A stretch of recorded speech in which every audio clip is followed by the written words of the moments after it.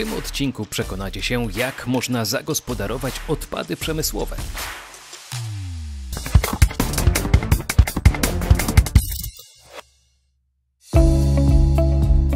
Nikogo nie trzeba przekonywać, jak ważne dla naszego zdrowia i środowiska naturalnego jest ekologiczne przetwarzanie odpadów przemysłowych. Spaleniu ulega tylko część z nich. Z wielu można wyprodukować wartościowe paliwo czy materiały budowlane. Jak wygląda to w praktyce, przekonamy się w zakładach Mobruk. W Karsach istnieją dwa wydziały. W pierwszym produkuje się paliwa alternatywne RDF, które są przekazywane między innymi do cementowni i używane jako alternatywa dla miału węglowego. Drugi wydział to termiczne przekształcanie odpadów przemysłowych, które nie nadają się do produkcji RDF. Najczęściej są to odpady płynne, przepracowane oleje, rozpuszczalniki, szlamy, odczynniki chemiczne. Spala się je w temperaturze powyżej 1100 stopni Celsjusza.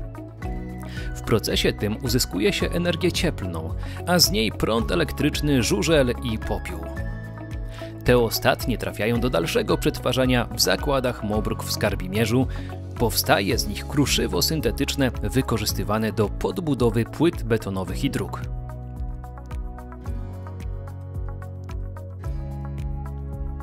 Wszystko zaczyna się od ważenia i weryfikacji odpadów według parametrów zapisywanych w systemie. Do produkcji RDF wykorzystuje się odpady wysokoenergetyczne, takie jak folia, papier, zmielone drewno i odpady z regionalnych instalacji selektywnych.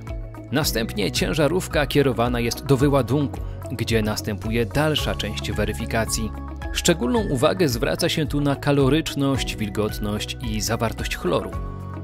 To ważne, aby powstało wysokiej jakości paliwo, Operator ładowarki pobiera odpady i ładuje je na taśmociąg linii produkującej RDF.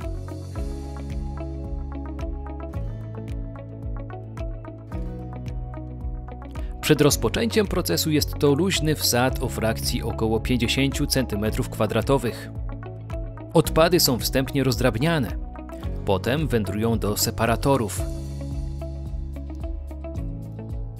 najpierw ferromagnetycznego, który usuwa złom metalowy, a później do separatora minerałów, czyli kamieni lub gruzu. W razie potrzeby używa się także separatora chloru. Tak przygotowany surowiec trafia do kolejnych rozdrabniarek, które zamieniają odpady w paliwo RDF, czyli granulat o wielkości około 30 mm2.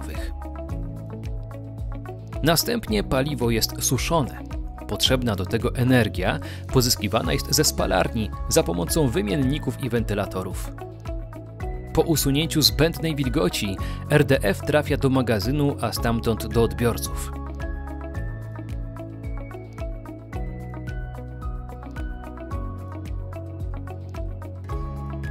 Odpady przyjmowane do przekształcania termicznego są przechowywane najczęściej w 200-litrowych pojemnikach. One także podlegają weryfikacji, tym bardziej rygorystycznej, że są to odpady potencjalnie zagrażające środowisku naturalnemu. Spalanie to najtrudniejszy z procesów przetwarzania odpadów niebezpiecznych. Dlatego przed ich obróbką laboratorium komponuje mieszankę wsadową, ustalając jej parametry. Wsad musi być stabilny. Gdy jest gotowy, pobiera się go za pomocą czerpaka i przekazuje do leja zasypowego, skąd finalnie trafia do pieca. W piecu obrotowym spala się frakcja stała, a w części statycznej i w komorach dopalania frakcja lotna, która wymaga temperatury powyżej 1100 stopni Celsjusza. Za komorami dopalania znajduje się komora mieszająco-schładzająca, gdzie redukuje się tlenki azotu, a jeszcze dalej zlokalizowany jest kocioł odzysknicowy, odbierający energię spalin powstaje w nim para technologiczna o temperaturze 380 stopni Celsjusza i ciśnieniu 32 barów. Kolejnym etapem jest oczyszczanie spalin. Odpylacze usuwają frakcję stałą i oczyszczają je chemicznie. Za filtrem workowym odbywa się mokre oczyszczanie gazów prysznicem z ługiem sodowym, który usuwa kwasy lotne. Końcowy etap spalania ma miejsce w wentylatorze wyciągowym i kominie. Do atmosfery nie przedostają się żadne zanieczyszczenia. Sercem instalacji termicznego przekształcania odpadów jest sterownia.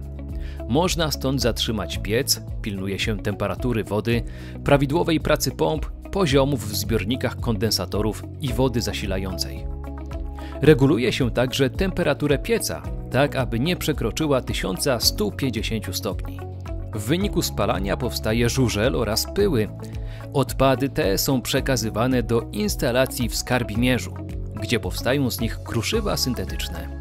Zanim jednak surowiec tam trafi, jest odpowiednio awizowany i w systemie zarządzania odpadami generuje się kartę transportową. Po przybyciu do skarbimierza samochód wjeżdża na wagę i zostaje skierowany do właściwego miejsca rozładunku, gdzie zostaje dodatkowo przeprowadzona wizualna kontrola materiałów. W zależności od ich rodzaju mogą one być przyjmowane w postaci luźnej, w pojemnikach typu Mauser lub Big Bagach. Niektóre odpady pyliste przechowywane są w silosach. Zakład przyjmuje także surowce płynne.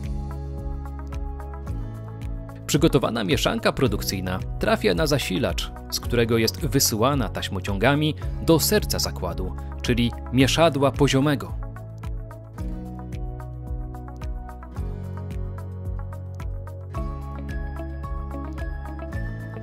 Po przejściu przez elektromagnes oraz przesiewarkę w mieszadle odpady pyliste łączy się z dodatkami potrzebnymi do uzyskania kruszywa syntetycznego.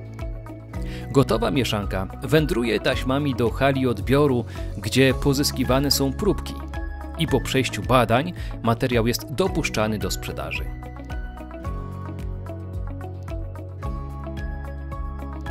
Tutaj także centralnym miejscem linii produkcyjnej jest sterownia, w której operator kontroluje wilgotność i dozuje elementy mieszanki.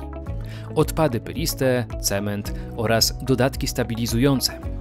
Zakłady w Skarbimierzu i Karsach mogą przetworzyć rocznie ponad 360 tysięcy ton odpadów. Z pożytkiem dla nas wszystkich.